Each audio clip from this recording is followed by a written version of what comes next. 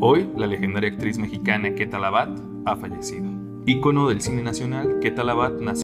Bienvenido a tu canal Farándula Noticias. Mucha atención a esta noticia de última hora. El mundo del cine se enluta por el triste fallecimiento de la querida actriz mexicana Keta Labat, la famosa actriz de la época de oro del cine mexicano. ¿Qué le pasó a la reconocida actriz? ¿Cómo fue su muerte? Te invito a que le dé like al video.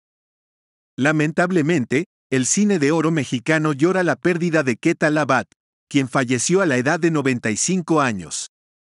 La renombrada actriz alcanzó la fama a nivel nacional gracias a sus destacadas actuaciones en películas como Las Tandas del Principal y Cruz de Amor, así como en la telenovela Clase 406 de Televisa. Con su partida, nos despedimos de una de las últimas leyendas que quedaban de la época dorada del cine mexicano. Esta mañana, la familia de la reconocida actriz confirmó la triste noticia de su deceso. La legendaria artista, conocida por su destacada participación en películas mexicanas de la época de oro, dejó un legado imborrable en la industria del entretenimiento. Keta Labat, cuyo nombre real era Enriqueta Margarita Labat Bayona, alcanzó la fama por su brillante actuación en películas como Dos chicos de cuidado, consolidándose como una de las estrellas más queridas de la cinematografía nacional. Sin embargo, su impacto no se limitó únicamente a la pantalla grande, ya que también participó en destacados proyectos teatrales y televisivos a lo largo de su extensa carrera. La veterana actriz fue ingresada de emergencia a un hospital a finales del mes de marzo de 2023 debido a un problema circulatorio en sus piernas, que finalmente derivó en una trombosis. Desde entonces, Labat recibió atención médica y estuvo bajo observación constante. ¿Qué complicaciones de salud tenía Keta Labat a finales de marzo de 2023? Se dio a conocer durante el vespertino de Ventaneando que la histrayonisa fue hospitalizada debido a una trombosis que sufrió en la pierna. Ante esta situación, los familiares de la famosa decidieron posicionarse para evitar cualquier tipo de especulación y, a través de un comunicado, detallaron cómo se dieron los sucesos y el estado de salud en la que se encontraba la artista. Con el agradecimiento por el interés que amablemente han manifestado respecto a la salud de la señora Keta Labat, queremos hacer de su conocimiento que el pasado jueves 23 fue intervenida para retirarle de su pierna izquierda algunos trombos que se le habían formado, destacaron.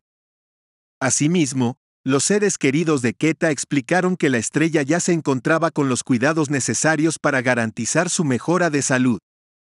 Gracias a los extraordinarios cuidados del equipo médico de Hospital Ángeles, la operación resultó muy exitosa y Keta se encuentra ya en franca recuperación, comentaron.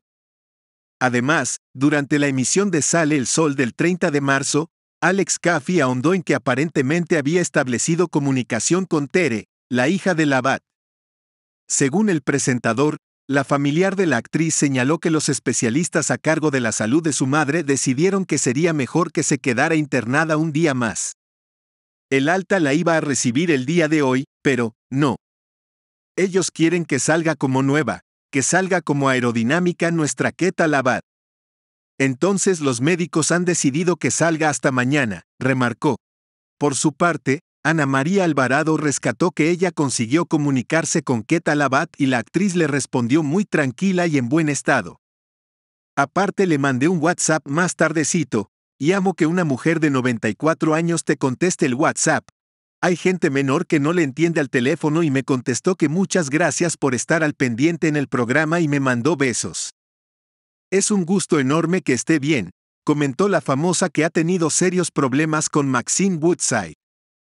Enriqueta Margarita Labat Bayona, nombre real de Queta, era una de las pocas artistas que aún eran un vivo testimonio de la reconocida épica del cine de oro mexicano. La famosa fue ampliamente reconocida por participar en filmes como Dos tipos de cuidado, Si me viera Don Porfirio, Retorno a la juventud o El hombre sin rostro. Queta fue una de las amigas más grandes que Jorge Negrete tuvo en la industria del entretenimiento e, incluso, Ambos llegaron a trabajar en varios proyectos en conjunto. En una antigua entrevista que la estrella tuvo para el canal de Paco Macías, narró cómo fue como trabajar con él o con Pedro Infante. Apreciamos su apoyo y los invitamos a rendir homenaje con un me gusta, y compartiendo sus comentarios. Hasta siempre, queridos seguidores. Que Keta Labat permanezca en la historia del cine y en nuestros corazones.